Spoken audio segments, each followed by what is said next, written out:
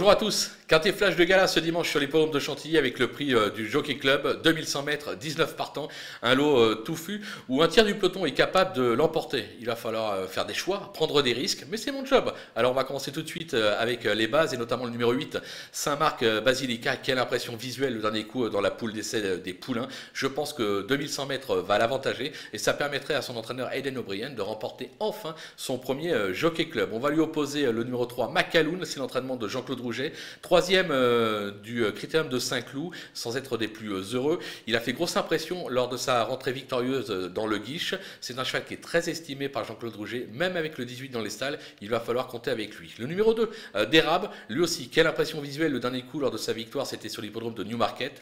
Il semble taillé pour tenir les 2100 mètres. Il ne faudra pas l'oublier au moment des choix. Les opposants, les opposants, on ne peut pas parler du numéro 15, euh, Megalan, qui vient de réaliser sa meilleure valeur dans un groupe 2, c'était sur l'hippodrome euh, de York.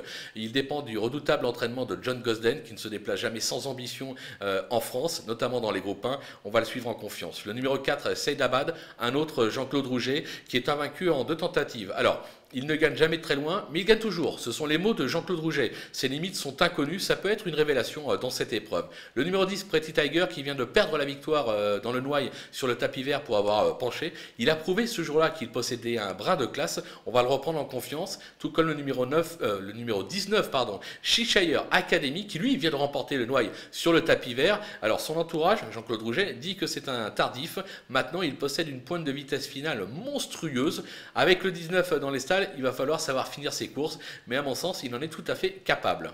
Un petit coup de poker, un gros coup de poker. Avec le 18, Adamo, c'est l'entraînement de Freddy Head. C'est un cheval qui a montré un éclat de classe à l'occasion de sa victoire dans le prix de la force. Il a ensuite été quelque peu euh, malheureux dans le guiche. Son entourage dit de lui qu'il fait partie des meilleurs au départ euh, de ce jockey club. On va leur faire confiance. Je suis persuadé que sur la distance, il peut faire un malheur, comme on dit. Et maintenant, on va parler des outsiders. Ils sont nombreux avec le numéro 9, Baby Rider, qui vient de s'imposer euh, en costaud dans le, dans le Greyfool. Il aura pour lui son aptitude et surtout la forme insolente de son Pascal Barry, qui ne cesse de briller depuis le début de la saison. On va s'en méfier. Le numéro 13, Smile Maker, euh, récent dauphin de Baby Rider dans le, dans. Euh, il répond présent à chacune de, ses sorties. C'est un cheval qui est très accrocheur. Lui aussi peut ambitionner euh, prendre une petite place. Le numéro 6, Milbosque, récent dauphin de Macaloun dans le, dans guiche. maintenant, c'est un attentiste qui va devoir se libérer de l'emprise du peloton. C'est toujours un risque. Si ça s'ouvre, pourquoi pas? Le numéro 5, El Drama, qui vient de gagner une listed, c'était sur l'hippodrome de Chester. Son entourage tente un coup au départ de ce groupe 1.